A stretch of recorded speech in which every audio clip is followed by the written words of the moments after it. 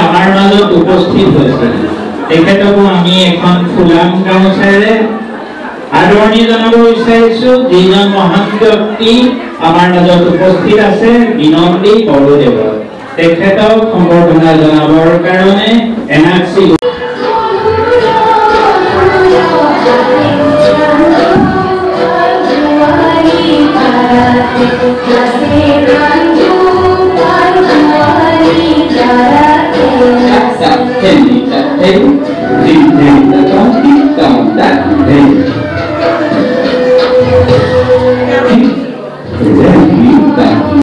ক্লাছত সোমোৱাৰ লগে লগে ভাবিব লাগে মই কি বুজা আৰু ল'ৰাবিলাকৰ মেণ্টেলিটিটো ক'ত আছে? ক'ত ক'ত আছেগৈ? মই ল'ৰাবিলাকে নমস্কাৰ বাইদেউ নমস্কাৰ ছাৰ। থিয় হোৱাৰ লগে লগে মই ল'ৰাবিলাকক কিমান এক ছেকেণ্ড দুই ছেকেণ্ড তিনি মিনিটৰ ভিতৰতে মই ল'ৰাবিলাকক অধ্যয়ন কৰিব লাগিব ল'ৰাবিলাকৰ মনটো ক'ত ক'ত আছে?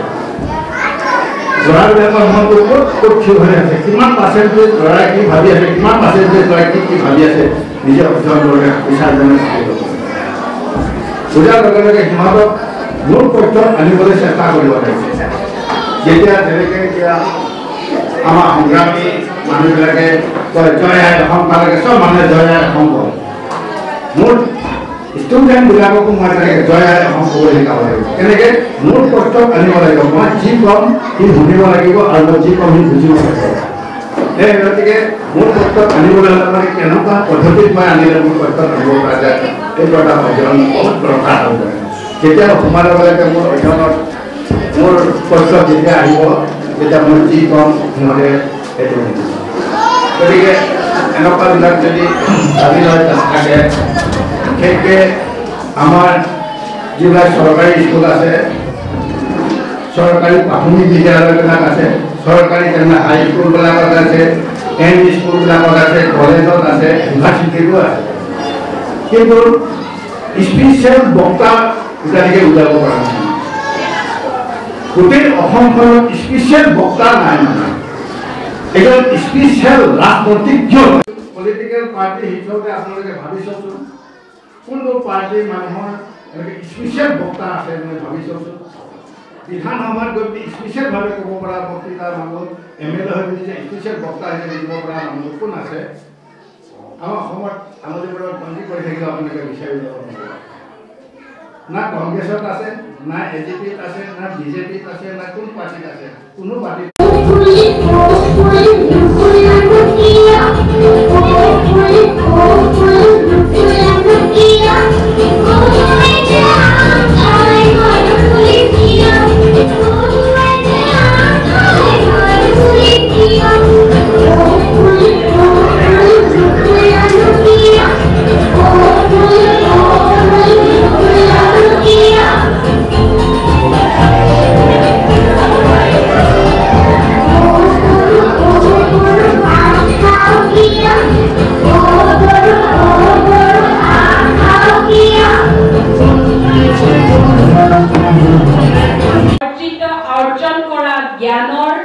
মূল্যাংকন কৰিব লগা হয় সময় সাপেক্ষে। সেই মূল্যাংকনখিনি কৰিবৰ কাৰণে আমি বিদ্যালয়ৰ এখন মঞ্চ দৰকাৰ হয়। সেই উদ্দেশ্যে আমি বিদ্যালয়লৈ আহিছো। পুথিগত শিক্ষাখিনি অৰ্জন কৰিবলৈ। কিন্তু লগে লগে আমি তাৰ লগে লগে আৰু এটা আমাৰ মনত ধাৰণা সদায় থাকিব লাগিব। আমি ভৱিষ্যতে আমাৰ শিশুসকলক কিন্তু একোজন পূৰ্ণাংগ মানুহ হিচাপেহে গঢ় দিবলৈ আহিছো। আপোনালোক সকলো অভিভাৱক অভিভাৱিকাসকলে ভাবক আমাৰ শিশুসকলক একোজন পূৰ্ণাংগ মানুহ হিচাপে গঢ়ি তোলাৰ সংকল্প লওক পূৰ্ণাংগ মানুহ হিচাপে গঢ়ি তুলিবলৈ কেৱল বিদ্যায়তনিক দিশতে এই জ্ঞানখিনি অৰ্জন কৰিলেই নহ'ব। আৰু সেই জ্ঞান অৰ্জন কৰিবৰ কাৰণে কিন্তু এষাৰ কথা আছে। ঘৰখনেই শিশুৰ প্ৰাক বিদ্যালয় মাতৃগৰাকী প্ৰধান শিক্ষয়িত্ৰী।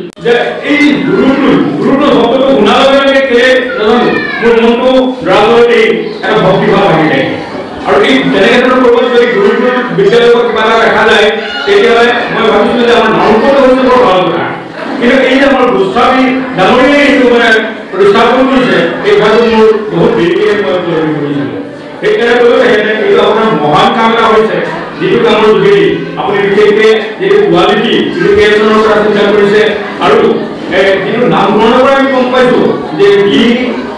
দিবলগীয়া আমাক এটা দিব আপোনালোকৰ আপোনাৰ যিটো মন মগজু যি প্ৰথম মানে আৰম্ভ হৈছিলে। যে গুৰুত্ব শব্দটো ব্যৱহাৰ কৰিব। আৰু গোটেই বিশ্বকৰ্মী আমাৰ যিজন সঁচাকৈ আমাৰ জগতৰ গুৰু সেইজন গুৰু নামেৰে যে বা তেখেতৰ আদৰ্শৰে যে আপুনি আগবাঢ়ি গৈছে সেইকাৰণে সঁচাকৈ আপোনাক ধন্য এই বুলি মই মনতে ভাবি আছিলোঁ। আৰু এই গুৰুটোৰ শব্দটোৰ লগে লগে মোৰ তেনেকৈ প্ৰথম অনুভৱ হৈছিলে। আমি আমি যেতিয়া চাওঁ যিহেতু ভকত হিচাপে কিছুমানে যেতিয়া আমাৰ গুৰুজনাৰ কথা কয় যে অখণ্ড মণ্ডল কাৰণ ব্যাপ্তং যত চৰাচৰম তাত পৰম দৰ্শিতম তস্মৈ শ্ৰী গুৰু নম তস্মৈ গুৰু শ্ৰী গুৰু নম। আমি অভিভাৱক হিচাপে মই এগৰাকী মাতৃ আমি? কি কৰোঁ মানে তেওঁলোকক খুব দিওঁ গান শিকক নাচ শিকক ছবি আগক সক্ৰিয় শিকক ভাৰতনাট্যম শিকক সকলো কৰোঁ। কিন্তু আমি এটা কথা মনত কৰিব লাগিব তেওঁলোকৰ আচলতে ইণ্টাৰেষ্ট কিহত আছে?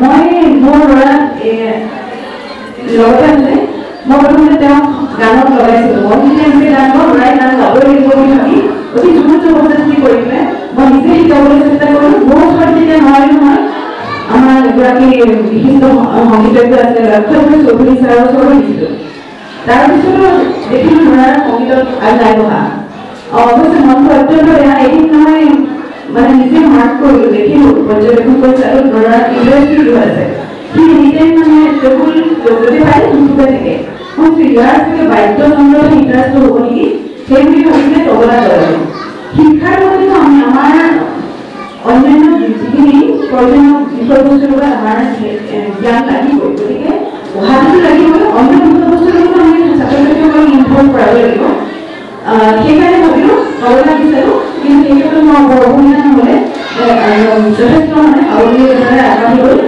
সেইকাৰণে মই ক'ব বিচাৰিছোঁ অভিভাৱকসকলৰ মাতৃসকলে এইটো কথা নিৰীক্ষণ কৰিব লাগিব যে তেওঁলোকৰ ইণ্টাৰেষ্টটো কিবা আছে জোৰ জোৰ কৰি শিক্ষা নহয় যিয়ে নহওক লাগিলে আপুনি শিক্ষাই হওক গানেই হওক নাচেই হওক ছবিয়েই হওক কোনো ক্ষেত্ৰতে শিশু ক্ষেত্ৰত জোৰ জোৰ নকৰিব বাধ্যবাধকতা নহয় খেলৰ মাজেৰে তেওঁলোকক শিক্ষা দিবলৈ চেষ্টা কৰিব লাগে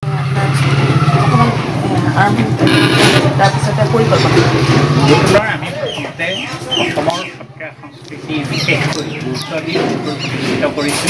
সেইকাৰণে অসমৰ গুৰু শংকৰদেৱ শংকৰদেৱৰ আৰ্হিত আমি সত্ৰীয়া নৃত্য বা তেখেতৰ সৃষ্টি ঘৰৰ যোগেদি আৰম্ভ কৰি আমি কিন্তু দুহেজাৰ পোন্ধৰত শিক্ষালৈ আগবাঢ়িছোঁ প্ৰথমতে নাৰ্চাৰীৰ পৰা আৰম্ভ কৰি আমি ভৱিষ্যতে যিসকল অসমৰ বাস কৰা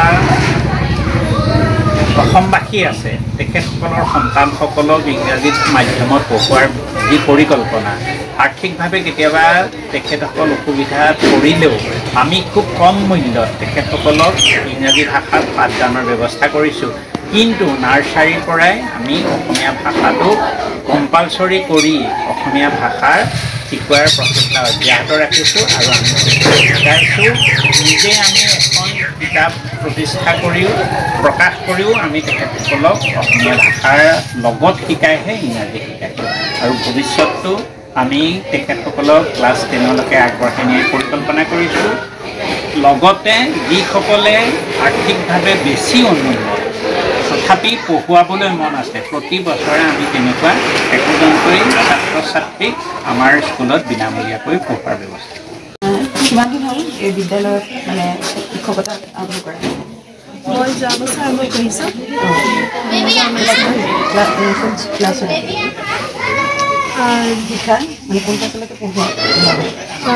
ক্লাছ টু এই বছৰটো ক্লাছ থ্ৰী আৰম্ভ হৈছে অঁ অঁ ক্লাছ ইয়াত কেইটা আছে টোটেল টোটেল ক্লাছ আপোনাৰ হেৰি থ্ৰীলৈকে আছে সাতটা হ'ব। সাতটা হ'ব। এইবছৰ সাতটা হৈছে। নাই এইবাৰ প্লে হাউচটো আৰম্ভ কৰা হৈছে। আপোনাৰ এই নাৰ্চাৰীৰ পৰা ক্লাছ টুলৈকে আছিলে এইবাৰ ক্লাছ থ্ৰীটো আৰম্ভ মোৰ দুবছৰ মই নাৰ্চাৰী আৰু এল কে জি। ইয়াত এনেই হেৰি যিটো প্ৰাথমিক শিক্ষাৰ কাৰণে যিটো ট্ৰেইনিঙৰ ব্যৱস্থা আছে সেনেকুৱা শিক্ষক শিক্ষকৰ সুবিধা আছে নে কওক? ট্ৰেইনিং সকলো? যিখিনি মানে ধৰক প্ৰাইমেৰী বিদ্যালয়ৰ কাৰণে ট্ৰেইনিঙৰ দৰকাৰ মানে আছে আমাৰ আছে ধৰা মণ্টেচি ট্ৰেইনিঙো লৈছে তেনেকৈ আমাৰ দিয়া হয়।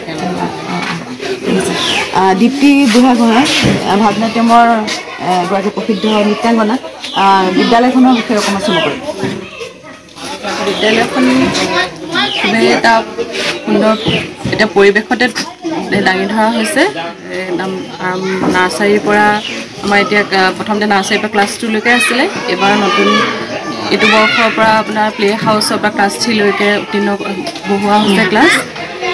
ল'ৰা ছোৱালীবিলাকক মানে আমাৰ পঢ়া শুনাৰ লগতেও অন্যান্য আপোনাৰ গীত নৃত্য আৰু সেইবিলাকো শিক্ষা দিয়া হয়। তাৰপাছতে আমাৰ বিভিন্ন যিবিলাক আমাৰ জ্যোতি দিৱস হয় ৰাভা দিৱস হয় তাৰপাছতে আমাৰ সুধাকণ্ঠৰ মৃত্যু দিনটো হওক জন্মদিনটো হওক আমাৰ মহামানৱ মহাত্মা গান্ধীৰ তেওঁ জন্ম দিৱসটো দুই অক্টোবৰ তাৰপৰা জৱাহৰলাল নেহেৰু বাৰ্থডে জন্মদিন চৈধ্য নৱেম্বৰ প্ৰতিটো অনুষ্ঠানেই আমি উদযাপন কৰোঁ যেনেকৈ হ'লেও মানে প্ৰতিজন আমাৰ ভাৰতবৰ্ষৰ হয় অসমৰে হওক তেওঁলোকে আমাৰ যি আমাৰ অসমৰ প্ৰেক্ষাপটটো দাঙি ধৰিলে বা ভাৰতবৰ্ষৰ যি হেৰি তেওঁলোকক মানে আমাৰ ল'ৰা ছোৱালীবিলাক এতিয়া মানে কাৰণে। জানিবৰ কাৰণে কণ কণ হৈ আছে তেওঁলোকৰ মানে যিটো ইমান এটা মানে শিক্ষা এটা দিয়া হৈছে তেওঁলোকক মানে তেওঁলোকৰ বিষয়ে মানে তেওঁলোকৰ বয়স অনুযায়ী প্ৰতিটো অনুষ্ঠান আমি আৰম্ভ কৰিছোঁ মানে।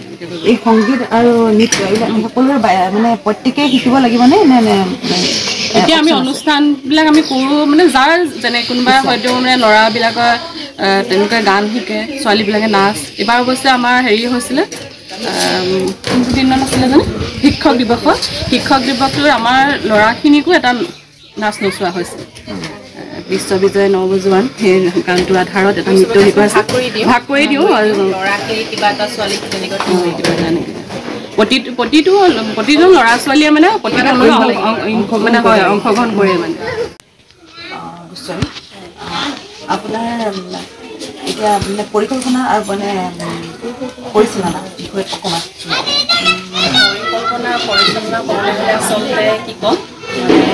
আমি আচলতে যিটো ইনষ্টিটিউট লৈছোঁ। সেইটো বিষয়ে আচলতে আমি হঠাৎ এখন স্কুল কৰি এই পৰা এতিয়া ক্লাছ থ্ৰী পালেগৈ। যিটো আমি আমাৰ দুজনৰ ভিতৰত যিটো ভাবিছোঁ। সেই ভাৱটো আমি যেনেকৈ যদি ভাবিছোঁ যে কেনে কি কৰিম সেইমতে যদি আমি কৰি যাব পাৰোঁ নিশ্চয় আমি সফল হ'ম বুলি ভাবিছোঁ। পৰিকল্পনা বুলি নহয় আচলতে। ল'ৰা ছোৱালীৰ লগত থাকি আমাৰ যিটো ভাল লাগে সেইটো হিচাপে ল'ৰা ছোৱালীক কিবা এটা দিবলৈ বিচাৰোঁ আচলতে সেইটো আৰু ই আচলতে আমাৰ